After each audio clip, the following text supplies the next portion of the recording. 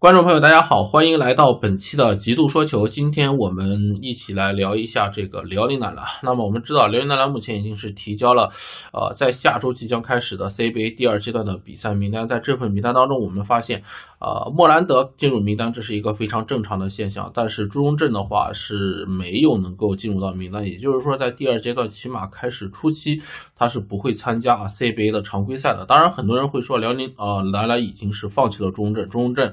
因为伤病的问题，可能第二阶段的比赛都参加不了。但是不管怎么样吧，我觉得，呃，朱荣振在第二阶段初期啊，起码打不了比赛的情况下，对于姚明来说倒是可以进行一个非常大胆的尝试啊。今啊，这个尝试是什么呢？我们今天也可以拿出来与大家探讨一下，就是考虑把这个韩德君包括福格放到替补席，放到第二阵容上，然后让莫兰德提上先发，然后与富豪或者说是李晓旭搭档一个内线的组合。当然，正常来说，辽宁队啊在引进了福格之后，其实啊比较稳定的先发阵容就是效仿于上个赛季，对吧？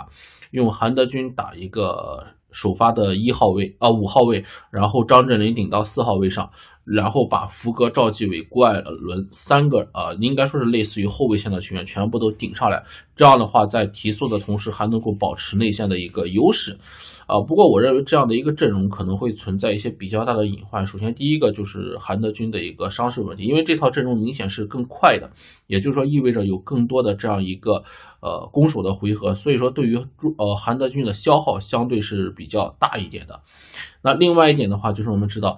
通常而言啊，对手的先发阵容相对实力也是偏强的，也就是说，呃，韩德君在这套阵容里面，你所面对的防守，呃，进攻时对手的防守压力也会更强一点，那消耗自然而然就会进一步的变大，消耗变大，你的受伤的概率也会变大，这是第二点。第三一点的话，我们看到这套阵容里面五个人几乎都具备，对吧？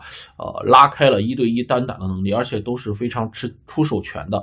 那所以说，这个球权的分配就很成问题。如果说你的速度足够多的话，有足够多的这种攻守回合的话，那这个分配还好一点。万一说要慢下来之后，比如说你打北京、打北控这样的球队，他擅长打慢节奏，你这个出手权的分配就很成问题。你究竟是给谁去执行终结？因为每个人的终结能力都是很强的。那我觉得，如果说照咱们上面提到的，对吧？把韩德君跟福格拉到板凳上，然后提上莫兰德跟这个。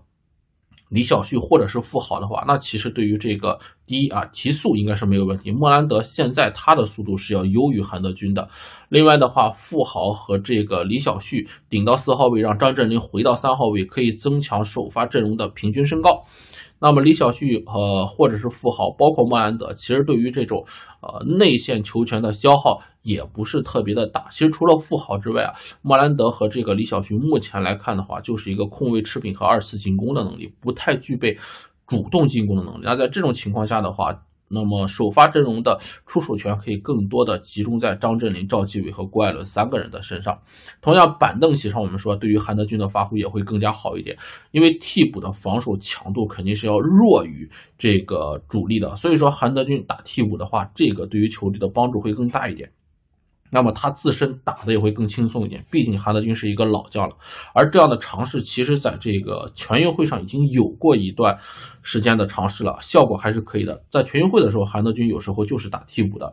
另外就是福格，他不用跟郭艾伦、跟这个赵继伟去争抢球权，因为福格本身也是一个持球大核心、大核心式的打法。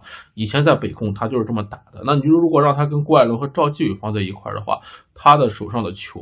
有球在手的时间肯定会大大削减的。同时的话，因为韩德君和福格在第二阵容，也使得第二阵容的整体实力会加强。再配上丛明晨这样一个射手，那么其实整个第二阵容也是相当完备的。当然，这个的话只是呃咱们所做的一个预测和尝试探讨。至于姚明主教练会不会采取这样的方式，我们可以拭目以待。